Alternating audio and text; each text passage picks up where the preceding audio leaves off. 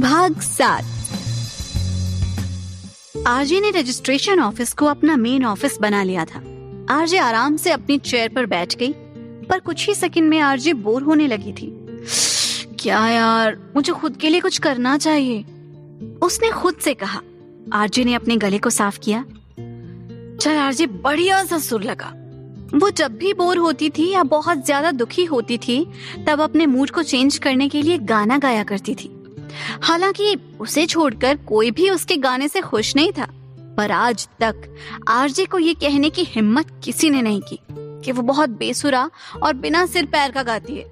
RJ I am RJ RJ table पर चढ़ गई। A pure girl My heart says I'm innocent like a bud. I'm RJ, yo, RJ.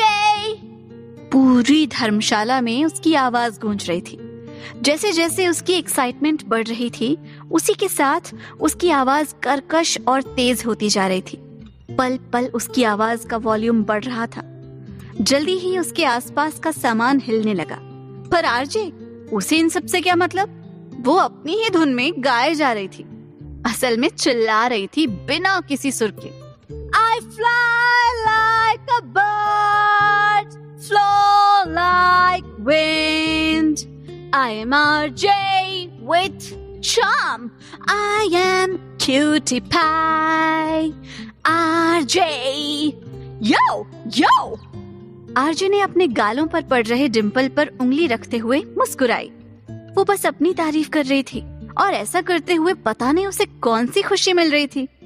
I am with no wire उसने ये शब्द इतना ज़ोर से चिल्लाते हुए कहा था कि वो जिस टेबल पर चढ़ी हुई थी वो ही टूट गया और आरजे धड़ाम से नीचे गिर पड़ी। सौभाग्य से उसी समय उर्वेन और बाकी सब वहाँ पहुँच चुके थे। टूटने की आवाज़ सुनते ही वो सब अंदर भागे। जैसे ही उन सबने रजिस्ट्रेशन ऑफ़िस का दरवाज़ा खोला, सब हैरान रह गए। ऑफ़िस पूरा कबाड़ बन चुका था। जिस रैक पर फ़ाइल रखी हुई थी, सब सरक कर नीचे आ गिरी थी। लाइट लैंप सब टूट फूट कर नीचे गिरे पड़े थे। टेबल के टूटे हुए टुकड़ों के बीच आरजे अपना पैर पकड़कर बैठी थी। शायद उसके पैर में चोट लगी थी। अर्घ उर्वेन जल्दी से उसके पास आए। मानसा, यूनी और सिमी भी काफ़ी परेशान हो गई थी। आरजे ने सबकी तरफ़ देखा। उर्वेन और अर्घ अपने घुटनों के बल बैठ आरजे को घूरने लगे।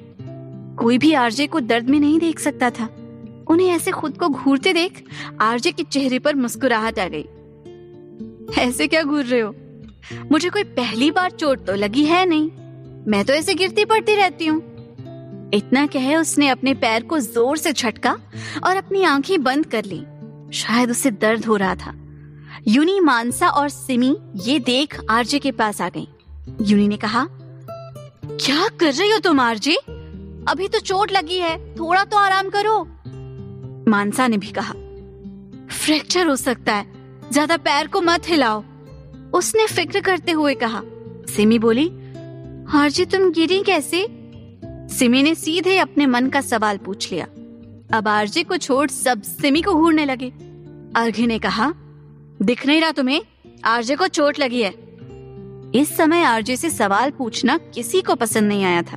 उर्वेन ने कहा, अभी ये सवाल जवाब बंद करो। मुझे बिल्कुल पसंद नहीं आएगा। इस वक्त आरजे लाइफ का सदस्य आरजे के अलावा कुछ भी सोचे। उर्वेन आरजे का गुस्सा जाने अनजाने सिमी पर उतार रहा था। यूनी और मानसा ने उसे घूरते हुए चुप रहने का इशारा किया। ये सब सुन सिमी की आँखों में आँसू आ गए। इस वक्त किसी का ध्यान सिमी पर नहीं था, सिवाय आरजे के। जब आरजे ने सिमी की आँखों में आँसू देखे, आरजे गुस्से में चिल्ला दी। चुप! कोई भी सिमी को एक शब्द भी नहीं बोलेगा, नहीं तो मुझसे बुरा कोई नहीं होगा। आरजे अपनी टीम के किसी भी मेंबर को दुखी नहीं देख सकती थी। सिमी तो रो रही थी, ये आरजे को ट्रिगर करने के लिए काफ़ी था। सब चुप हो गए और सबने अपना सिर नीचे झुका लिया। सिमी ने भी अब सबको घूरते हुए अपने आँसू पूछ लिए। आरजे अपने पैर पर ज़ोर डाल खड़ी हुई। हालाँकि अभी भी उसे थोड़ा दर्द हो रहा था, पर उसे इस बात की बिल्कुल भी चिंता नहीं थी। उर्वेन, अर्घ, मानसा और यूनी उसे सहारा देने के लिए आगे बढ़े, पर आरजे ने उन्हें हाथ दिखाकर रोक लिया। आरजे कभी इतनी कमज़ोर नहीं थी कि उसे किसी सहारे की ज़रूरत पड़े। और दूसरी बात, मेरे लिए आरजे लाइफ का हर सदस्य खुद से भी ज़्यादा इंपॉर्टेंट है। अगर तुम सबको मुझसे सवाल करने का हक है तो सिमी को भी है। मैंने कभी तुम सबको एम्प्लॉय की तरह नहीं समझा, दोस्त की तरह ट्रीट किया है। आई होप तुम लोग अपनी गलती मान सिमी से माफ़ी मांगोगे। सब हैरानी से आरजे को देखने लगे, जबकि ये सुनकर सिमी के चेहरे पर एक विजयी मुस्कान थी। सिमी ने सबको घूरते हुए अपना मुँह बना लिया। किसी को माफ़ नहीं करने वाली मैं, उसने खुद से कहा। आरजे बोली, प्लीज़ सिमी, मुझे मेरे कमरे तक छोड़ाओ सिमी ने खुशी खुशी आरजे का एक हाथ अपने कंधे पर रखा और उसे सहारा देते हुए बाहर ले गई। आरजे टीम तो अभी भी शौक में थी। उन्हें तो अभी भी भरोसा नहीं हो रहा था कि ये कल की आई सिमी के लिए आरजे ने उन्हें डांटा और माफ़ी तक मांगने के लिए कहा। उन्हें लग रहा था, आरजे उनसे ज़्यादा सिमी को इम्पोर्टेंस देने लगी है। यूनी ने गुस्से में अपने हाथ पर चूंटी काटी। आ! मतलब मैं सपना नहीं देख रही हूँ। आरजे सच में हमारे उसूलों के खिलाफ हमें उस गलती की माफ़ी मांगने के लिए कह रही है जो हमने की ही नहीं है। मानसा बोली, मैंने कुछ गलत नहीं किया है तो मैं माफ़ी क्यों मांगू? मैंने बस उसे चुप रहने के लिए कहा था। सॉरी तुम दोनों बॉयज़ को बोलना चाहिए। मानसा ने अर्घ और उर्वेन की तरफ़ इशारा किया। अर्घ ने गुस्से में अपने बालों को पीछे किया।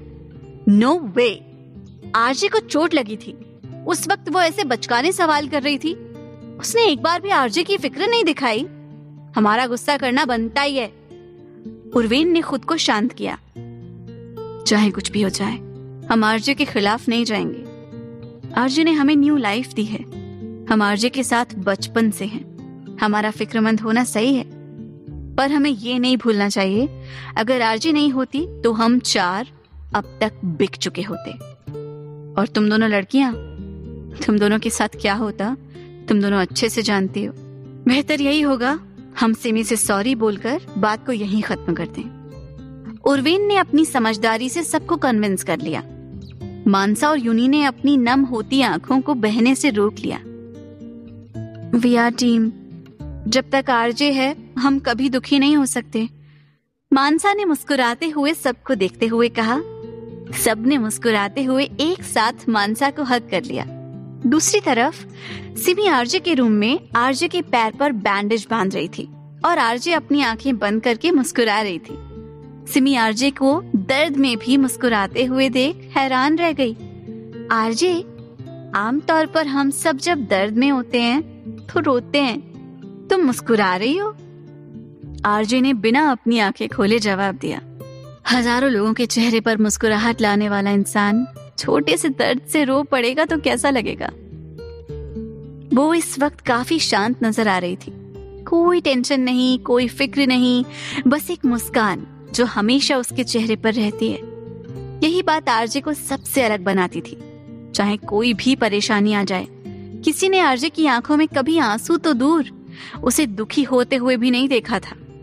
सिमी ने कुछ सोचते हुए कहा, अगर ऐसा इंसान रोएगा तो मुझे तो बिल्कुल अच्छा नहीं लगेगा। फिर मुझे भी रोना आएगा। सिमी ने आरजे की तरफ़ देखा, पर फिर भी दर्द तो होता है ना। आरजे ने मुस्कुराते हुए अपनी आँखें खोली और मुस्कुराते हुए अपना पैर सोफे के ऊपर खींच लिया। सिमी ने कहा, ध्यान से, अभी आरजे तुम्हारा पैर ठीक नहीं हुआ है। आरजे मुस्कुराई। तुम्हारी एक मुस्कुराहट मेरे पैर को हंड्रेड परसेंट ठीक कर देगी। सिमी ये सुन हंसने लगी। ये क्या आरजे? तुम भी फ़िल्मों जैसी बातें करने लगी। मुस्कुराने से किसी का दर्द कैसे ठीक हो सकता है? आरजे ने कुछ सोचने का नाटक किया। hmm, हो सकता है। सिमी ने अपनी कमर पर हाथ रख लिया। हम्म कैसे? आरजे ने इशारे से सिमी को अपने पास बुलाया। सिमी आरजे के पास आकर बैठ गई। उसके बैठते ही आरजे ने जल्दी से अपना बैंडेज खोला और तेज़ी से बाहर की तरफ़ भाग गई। आरजे पलटकर वापस सिमी के पास आई। अब मेरा पैर बिल्कुल ठीक है। ऐसे ही मुस्कुराते रहना। इतना कहकर वो फिर से रूम से बाहर चली गई। सिमी तो बस किसी सदमे में आरजे को देखती ही रह गई। हाँ, ये कैसे हो सकता है? अभी थोड़ी देर पहले तो आरजे चल भी नहीं पा रही थी। सच? मेरी मुस्कान की वजह से तो नहीं? उसने दो से तीन बार अपनी पलकें झपकाई, तब जाकर उसे यकीन हुआ कि सच में उसकी मुस्कान की वजह से आरजे ठीक हो गई है। सिमी इस बारे में सोच ही रही थी कि तभी वो चारों अपना सिर झुका कमरे के अंदर आए और घुटनों के बल अपने कान पकड़कर बैठ गए। सिमी ने उन चारों की तरफ़ देखा और फिर कुछ सोचते हुए मुस्कुरा दी। पर जल्दी ही उसने अपनी मुस्कान छुपा, नाराज़ होने का नाटक करने लगी। यूनी बोली I am sorry Simi Mansa भी बोली आई एम सॉरी अर्घ ने कहा, मुझे तुमसे ऐसे बात नहीं करनी चाहिए थी। मैं तो हूँ ही गधा। प्लीज़ मुझे माफ़ कर दो। उर्वेन ने कहा, मैं गलत था सिमी आरजे हमारी लाइफ लाइन है। उसके लिए हम सब थोड़ी ज़्यादा प्रोटेक्टिव हैं। पर हमें तुमसे ऐसे बात नहीं करनी चाहिए थी। मैं तो सबसे बड़ा वाला उल्लू हूँ। प्लीज़ हमें माफ़ कर दो। सबने सिमी की तरफ़ देखा, जो अपनी हँसी रोकने की पूरी कोशिश कर रही थी और लगभग कामयाब भी थी। योनी ने कहा, सिमी प्लीज़ कब तक नाराज़ रहोगी? देखो, हम सबने कान पकड़े हैं। मानसा बोली, सिमी, अगर तुम हमें इस बार माफ़ कर दोगी तो हम सब तुम्हारी कोई भी एक विश पूरी कर देंगे। सबने एक आखिरी आस के साथ सिमी को देखा तो सिमी अपनी हँसी रोक नहीं पाई और उन सबके सामने बेतहाशा हंसने लगी। उसे ऐसे पागलों की तरह हँसते देख सबके चेहरे पर भी मुस्कुराहट आ गई। अर्घ ने कहा, तुमने हमें माफ़ कर दिया, सिमी। यूनी बोली, हंस रही हो? मतलब तुमने हमें माफ़ कर दिया? यूनी ने खुशी से चहकते हुए कहा। सिमी बोली हाँ माफ़ कर दिया आप। पर सबको मेरी एक विश पूरी करनी होगी। सिमी ने नाटकीय अंदाज में अपने हाथ की एक उंगली ऊपर कर कहा। सबने हाँ में सिर हिला दिया। अर्घ बोला, क्या विश है तुम्हारी? मैं अभी पूरी कर देता हूँ। मानसा बोली, बोलो बोलो।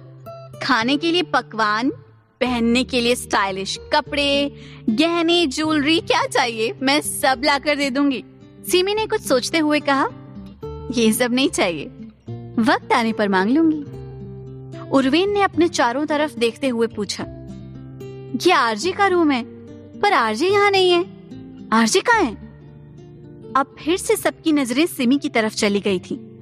हालाँकि इस बार सब समझदारी से काम ले रहे थे। सिमी को आरजे का भागना याद आ गया। भाग गई। क्या? सब हैरानी से सिमी को देखने लगे। सिमी बोली, उसके पैर में चोट लगी थी, पर फिर भी वो ऐसे भागी जैसे उसका पैर बिल्कुल ठीक हो। मुझे बात समझ नहीं आई, पर मेरी मुस्कान शायद मेरे स्माइल करने से वो ठीक हो गई। पता नहीं ऐसा हो सकता है, पर कैसे? सिमी ने कंफ्यूज होते हुए कहा, ये सुनकर सबने चैन की सांस ली। हारजे अब ठीक होगी। अब हमें ज़्यादा टेंशन लेने की ज़रूरत नहीं है। यूनी ने सबसे कहा, मानसा बोली, मुस्कुराने से सब ठीक हो जाता है। वैसे भी हम सब लाखों लोगों के चेहरे पर मुस्कुराहट लाते हैं। हमारी लाइफ में एक स्माइल की कीमत भी करोड़ों में है। तुम भी जब पूरी तरह से इस आरजे लाइफ को अपना मान लोगी, आरजे को अपना लोगी तो ये मुस्कुराहट परमानेंटली तुम्हारी लाइफ का हिस्सा बन जाएगी। फिर तुम भी दूसरों को मुस्कुराते देख अपना दर्द कब भूल जाओगी, तुम्हें भी पता नहीं चलेगा। सिमी बोली, हम कोशिश करेंगे किसी के दर्द को मिटाकर उसके चेहरे पर मुस्कान लाने की। सिमी ने खुश होते हुए कहा, उसे ऐसा करना काफ़ी आसान और इंटरेस्टिंग लग रहा था। यूनी बोली, आरजे ने हमसे सिर्फ़ एक बात कही थी, जिसे हम आज भी मानते हैं। किसी की मुस्कुराहट की वजह बनो। उर्वेन बोला, ये लाइन सिर्फ़ कहने के लिए नहीं है। आरजे लाइफ के प्रत्येक सदस्य के लिए मकसद है। अर्घ बोला, किसी की मुस्कुराहट की वजह बनना आसान नहीं पर आरजे है तो सब है। इसलिए हम सब आरजे की बहुत इज़्ज़त करते हैं। शायद इसलिए हमें थोड़ा गुस्सा आ गया। आज के बाद ऐसा ना हो, हम पूरी कोशिश करेंगे। सिमी फिर से मुस्कुरा उठी। तभी किचन से बर्तन गिरने की आवाज़ आई। उन सबका ध्यान किचन की तरफ़ गया। आवाज़ सुनकर सब आरजे के रूम से बाहर आ गए। सामने किचन खुला था, जिसमें साफ़ साफ़ आरजे बर्तनों और मसालों से छेड़छाड़ करती नज़र आ रही थी। हालाँकि आरजे खाना बनाने की कोशिश कर रही थी, पर वो जिस तरह से मसाले और बर्तन छू छू कर देख रही थी, उसे देखकर ये कह सकते हैं कि वो मसालों और बर्तनों से छेड़छाड़ कर रही थी। ये देख मानसा ने अपना सिर पीट लिया। सभी काफ़ी घबरा गए थे। अर्घ बोला पिछली बार जब आरजे ने खाना बनाना चाहा तो उसने सब बर्तन तोड़ दिए। सारे मसाले इस तरह पानी में मिला दिए और सब्ज़ी को बिना धोए काटे पानी में डाल दिया। ये तो कुछ भी नहीं उसे कुकर बंद करना नहीं आता। उसने गलत तरीके से कुकर बंद किया और फिर उसे वैसे ही छोड़ दिया। आखिर में कुकर फट गया। एक महीना लग गया था किचन को पहले जैसा करने में। ये सुनकर सिमी को हँसी आ गई। क्यों नहीं बोली? उसे खाना बनाना बिल्कुल नहीं आता है, पर फिर भी उसे वो काम करना है जो उसे नहीं आता है। सिमी बोली, क्या आरजे को खाना बनाना नहीं आता है? मुझे तो बहुत अच्छा खाना बनाना आता है।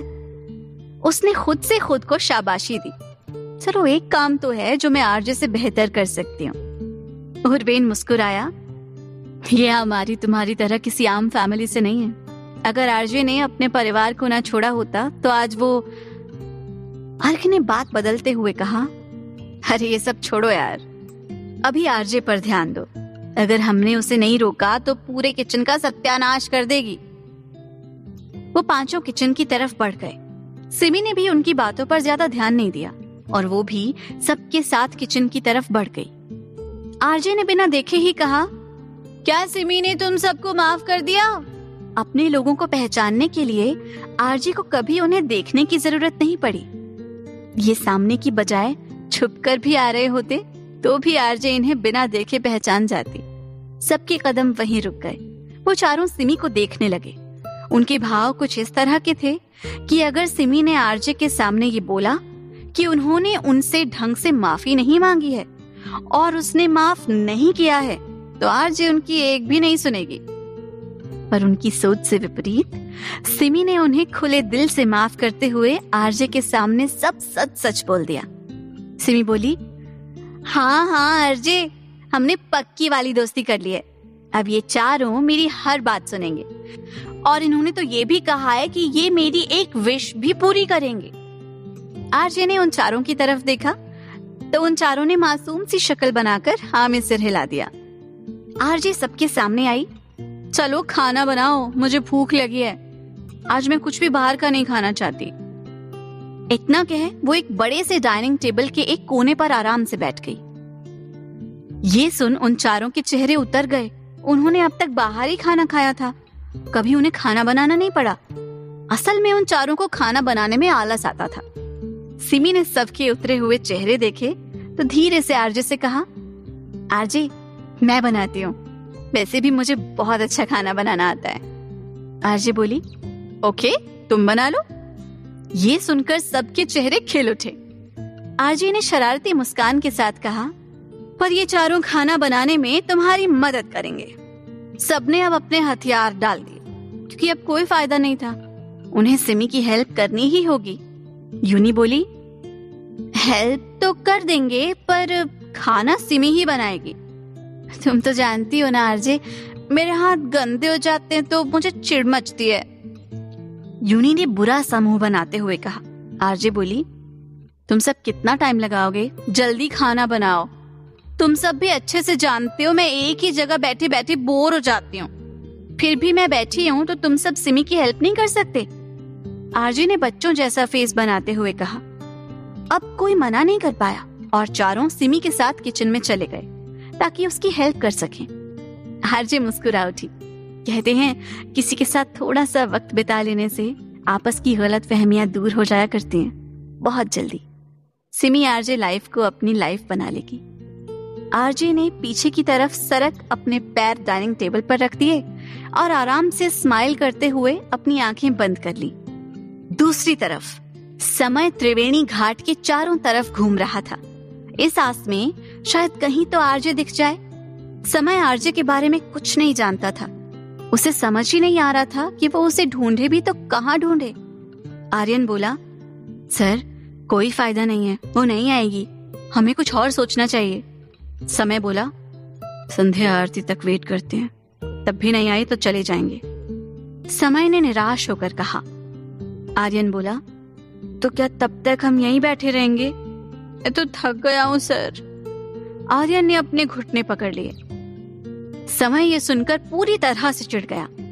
बस, अगर मेरे साथ काम करना है तो भूख, प्यास, थकान सब भूल जाओ। चुपचाप अपना काम करो। मुझे बिल्कुल पसंद नहीं है कोई मेरी बात को बीच में काटे।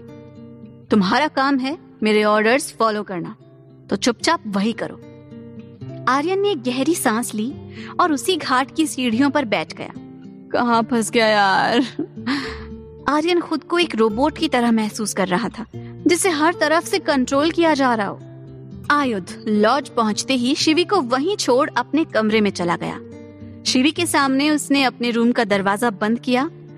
आज आयुध ने पूरे रास्ते शिवी से बात नहीं की थी, और अब ऐसे दरवाज़ा बंद कर लिया था जैसे कुछ छुपा रहा हो। शिवी, आयुध को क्या हुआ है?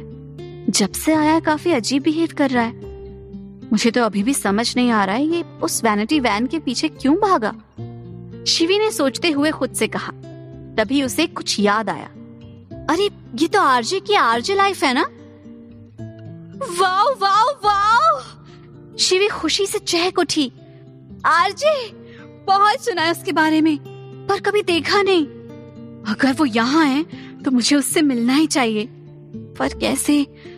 आयुध हर समय के रहते मुझे खुद के लिए टाइम कहाँ मिल पाता है? चौबीस घंटे तो मैं इनके झगड़े सुलझाती रहती हूँ। अब बहुत हो गया। अब ये दोनों लड़ेंगे तो मैं इन दोनों के बीच में नहीं आऊँगी। बार बार समय इंसल्ट कर देता है यार। शिवी ने रोने सी शक्ल बना ली और चिढ़कर अपने कमरे में चली गई। सिमी ने बहुत ही अच्छा खाना बनाया था। सब तो उंगलियाँ चाटते ही रह गए। सब उसकी तारीफ़ कर रहे थे। सिमी की खुशी का तो कोई ठिकाना ही नहीं था। वो हमेशा से यही तो चाहती थी कि सब उसकी तारीफ़ करें। पर सबको उसके बाहरी रूप के अलावा कुछ दिखता ही नहीं था। पर यहाँ यहाँ आकर वो खुद को काफ़ी फ्री महसूस कर रही थी। क्योंकि यहाँ कोई भी उसे उसके मोटे होने की वजह से चिढ़ाता नहीं था। ना ही कोई उसे जज करता था। सब उसके साथ काफ़ी अच्छे थे, खासकर आरजे। सिमी के लिए ये काफ़ी था। खाना खाने के बाद आरजे ने सीधे उर्वेन से पूछा, अब तक कोई केस आया या नहीं? काम के वक्त आरजे काफ़ी सीरियस रहती थी। इस समय उसके चेहरे पर कोई एक्सप्रेशंस नहीं थे। ना स्माइल ना खुशी, ना दुख, गुस्सा, कुछ भी नहीं। यही एक समय था जब सब आरजे से दोस्त की तरह नहीं, आरजे लाइफ में आरजे की टीम की तरह काम करते थे। ये सुनकर सब एक दूसरे की शक्लों को देखने लगे। पर अगले ही पल उन सबने अपना सिर झुका लिया। ये देख आरजे सब समझ गई। मुझे लगा ही था यही होने वाला है। आरजे लाइफ को वर्ल्ड के हर कोने में पॉपुलर करना है इतना आसान नहीं होने वाला। उर्वेन बोला आरजे हम यहाँ पॉपुलर नहीं हैं, कोई हमें जानता नहीं है तो कोई क्यों आएगा? उर्वेन ने अपनी बात आरजे के सामने रखी। अर्क बोला, हम पर कोई विश्वास नहीं करने वाला आरजे यहाँ के लोगों को नहीं लगता कि हम उनकी प्रॉब्लम्स दूर कर सकते हैं। यूनी मानसा और सिमी ने भी अर्घ और उर्वेन की बात में हा में हा मिलाई। आरजे ने कुछ सोचा? हम्म तैयार रहो तुम सब। उर्वेन बोला, क्या सोच रही हो तुम आरजे? आरजे ने कहा, पता चल जाएगा। अभी के लिए तो इतना जान लो। अब तक प्रॉब्लम्स हमारे पास आती थी, अब हम उनके पास जाएँगे। इतना कहे वो अपने कमरे की तरफ़ बढ़ गई। सबने आरजे की बात मानी। और बिना कोई और सवाल किए अपने अपने कमरे में चले गए। सबको आरजे पर पूरा विश्वास था कि आरजे ने जो भी सोचा होगा, उनके लिए बेस्ट ही रहेगा।